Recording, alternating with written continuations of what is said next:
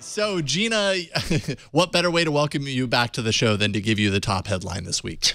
Top headline. I'm honored. um, this is really cool, actually. I'm kind of excited about it. So, yesterday, Google announced a new thing, Material Design Lite. Um, this is basically gives web developers the CSS and the HTML, JavaScript to make web apps or web pages. They don't even really have to be apps. Material design, you know, look and feel, the floating action buttons, the hamburger menu, all, all the, the interactions. Um, this is unlike Polymer, which is Google's uh, uh, which is a more interactive back end, front end focused framework. This Material Design Lite is just the front end. Um, so it's framework agnostic. It can work with any code that you've already got running. If you got a web page, you can use this. And um, gzipped package comes in under 27 KB, kilobytes. And the code is on GitHub and at getmdl.io, uh, MDL from Material Design Lite. And I, you know, I just I love this idea and I'm excited about it. And I'm actually trying to looking through all my websites, seeing which ones I can I could use this for because I mean if you can do if you can make an HTML page, if you know any HTML at all, like using Material Design Lite is not that much of a leap. It's just it's all this prefab kind of CSS that will you know turn your button into a floating round button with the interactions of Material Design, and uh, you know you could use it for a blog, you could use it for you know, just a, something as a simple kind of one pager marketing page and, and with any language. So it looks really, it looks really neat. I, I like to say, I love that. And it's totally responsive too. So it does all the things that material does on a big screen, a big wide screen. It looks good.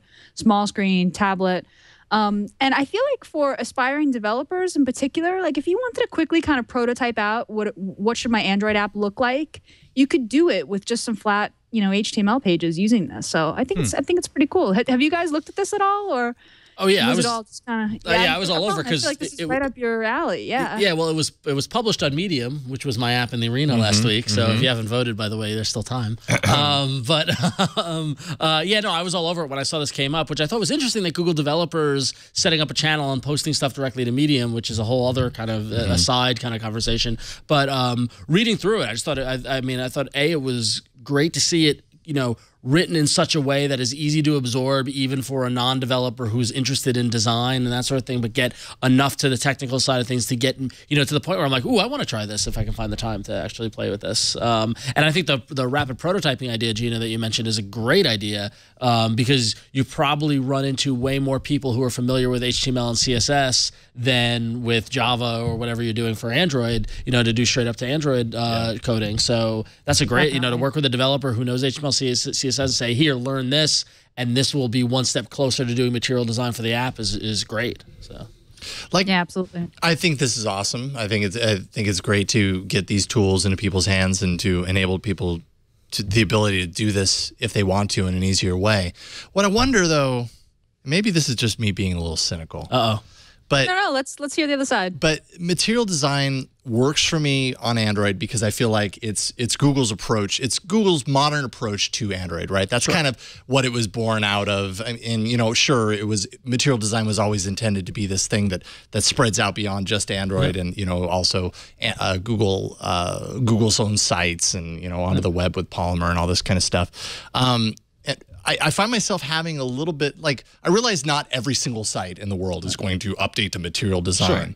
but for some reason it just seems weird bringing material design to the web beyond just like Google slash Android related things. But but what? But it's a it's it, mm -hmm. see it's a and I'm sorry, uh, Gina, you, you probably say this much better than I could, but it's a design methodology. It's a design it approach. It's not an Android. But in my approach. brain, it's so associated. Well, sure, yeah, yeah. That it's hard for me to like erase that. I'm like, why? Why is your site in material design? I don't. I don't get it. Well, I mean, but if you look at what Google's doing, all of Google sites are material design. Yeah, no, the, the that I/O makes site was material design. That makes perfect the sense. Google, the Google Google Music update, which some people were complaining, but I think just that's just because people don't like change. I love the new Google Music site. I think it's mm -hmm. great. I do Although too. I really wish they would let me add a photo for bands because they some bands they know and they they can pull a background photo in, but then yeah. other bands bands, and I listen to a lot of you know obscure small indie bands that they might have heard of. But I have photos of them; I can upload them. But anyway, so yeah. um, that's so a little complaint. No, and, and I don't mean to sound like I'm complaining because I love material design. Yeah, but well, but I'm like, well, here's are a, a lot of sites like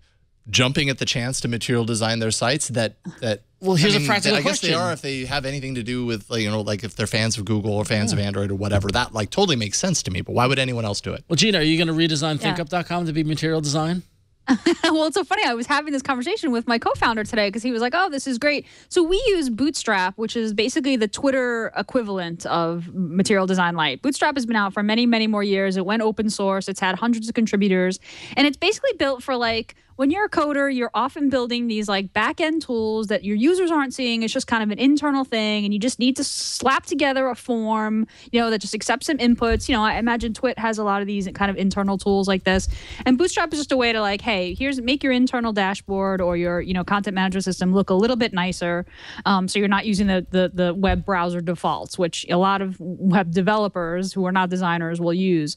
Um, so we, we rely a lot on Bootstrap, and I was talking to my co-founder. I was like, you know, Material is so great great. Like you know, if it's if it's as good as, as Bootstrap, you know, I would definitely consider moving over to it.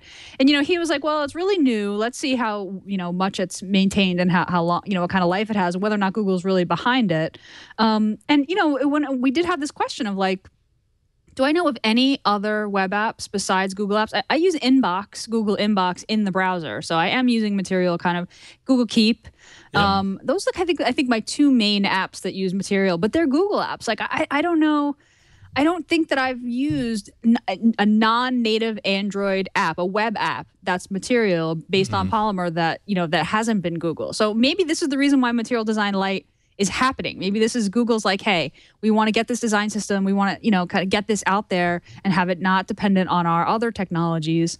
Um, but I, you know, our decision anyway for ThinkUp was kind of like, all right, we're going to wait and see, you know, if this if this uh, sticks around and keep gets developed at the pace that Bootstrap did. Um, but I loved Bootstrap. It saved a ton of time a uh, ton of design time, and and you really you honestly can customize it too. And I, I imagine you can do the same with material with MDL. Um, so we'll see, but it took a long time to get there. So mm-hmm. we'll, we'll see how this goes. Yeah, I'm, cur- I'm curious what sites. I mean, I'm looking. I, I, just did a quick search for what sites are using material design, um, and I don't think that many are because a lot of them are Google sites. I mean, right. you know, like outside of Google and maybe this is the this is the first step. I'm looking. There's a blog called MaterialDesignBlog.com. That, that doesn't make any sense. Why don't you just tell us what you write about? Seriously. but it looks like it looks like they're using it, but to a certain yeah, they, they totally no, they are, are totally it. yeah, yeah, totally yeah, using material it. Design. So I wonder how they did that, but um, yeah. it's really nice actually. Oh, there. But it, but that makes sense, right? Right. Because it's a site about, about material design. Yeah, exactly. Yeah. Yeah. You know, I I think what it comes around to is, and and this was a this was a a fear that I had early on when material design was introduced and we started to see it on Android. And thankfully, uh, that that fear has kind of been put to bed a little bit. But I find myself having it again here, which is just like doing material design, but still having some sort of personal identity or some yeah. sort of uh, mm-hmm. identifiable um, so, so are you characteristic? You're, you're I mean? lumping material design in with Google's brand identity. I totally am. And yes. so, therefore, therefore, so if I took, if I'm going to make where in the world is crankyhippo.com, and it's it's Which, a, it's, it's a by great the way, new we site. never know. Yeah, so. it's a great new site where you yeah. can track track Cranky Hippo around the world and find out what Brian Burnett is up to, right? And if mm-hmm. I did it all material design and had nothing to do with Google mm-hmm. and never even did anything with Google, would you then see that site and think, oh, it's a Google site? I, you know what I would think? I, I think I would yeah. see it, and oh man, I, I feel like I'm going to get some hate for this, but I'd feel like to some degree it would be kind of like a templatized, kind of like a lazy approach to creating your site. Not lazy, and I know that sounds bad, yeah. but what I mean is like you sign up for WordPress or you sign up for you know whatever site, and they have templates, and you can go with the template that they give you. And yeah. I feel like material design is like a template, right? And and that's exactly what it is. They're giving you tools to do it, but I feel like if that's all you're doing well, then everybody can do it. And there will be a million sites that look identical to each other. And they're all going to be right. material design sites. And they aren't going to have character because they all have the same character. You know what I mean? Yeah. So tough, personalizing you know, it beyond that, I think, is is kind of important. And this, how do you do that on a website? This actually, it's possible. I mean, it actually it actually reminds me of a sociological conversation, which I I was just reading back. I just read a book about the New York hardcore scene in the '80s because that's the music that I like, mm-hmm. and they talked about how it reached a point in the late 1980s where everybody was dressing the same, and and it took a bunch of people to say, wait a minute, we're punk rock, we're hardcore, we're different than everyone, and we shun everyone else, but here we are all falling in line with a look and aren't we just doing what we're trying to rebel against you know and so it becomes that kind of thing where just because once you accept something and it becomes um, homogenizing mm-hmm. and then then you lose any lack of personality or rebellion or spirit of change mm-hmm. um, because it's setting up restrictions or barriers around what you're supposed to do Right. So, so, may, but maybe it's not a world where the entire web is supposed to be material design, but it could be. And it's a good starting point. And maybe that's the point. And I mean, I think part of it is like material design maturing to the point where it's it's customizable enough that it Yeah. not automatically recognizable. Like Bootstrap had this problem in the beginning where you could you could immediately tell if a site was a Bootstrap uh, site, right? But as more people adopted it, more developers pushed the boundaries of what can be customized and wanted to make it their own, right? They wanted all the benefits without the telltale, you know, button, you know, showing what it is. And and I feel like if MDL can get to that point, although you know Google, one of Google's reasons, you know, people said that there are a bunch of material ports for Bootstrap, Bootstrap so their material design, like the community did, that Google didn't do specifically, but Google said, you know, we did MDL because you know while the community has done a great job, you know, they didn't always implement things exactly the way that we would have in material. So we really wanted to to show our kind of guiding hand. I mean, Google's really taking a, a very a, a lot more. They kind of so the pendulum swung the other way. They're taking a very strong leadership role in in material design. I think that this is their their push toward becoming the design company and sh- Yeah. showing like this is this is the way that it should be. And at this early stage, it, this just dropped yesterday. I don't think it's very flexible. But if it gets the adoption, I think that it will become more customizable.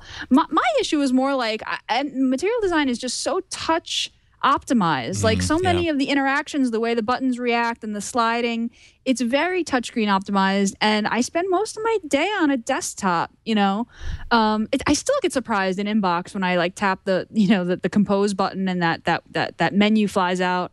Um, And that's just I guess just me just sort of getting used to the system. But and I get we want everything to work the same across touchscreen and desktop and big screen and small screen. But I think I think sometimes it, it does feel like oh this should this is a native mobile app. I still have that Right. divide kind of in my mind. Yep.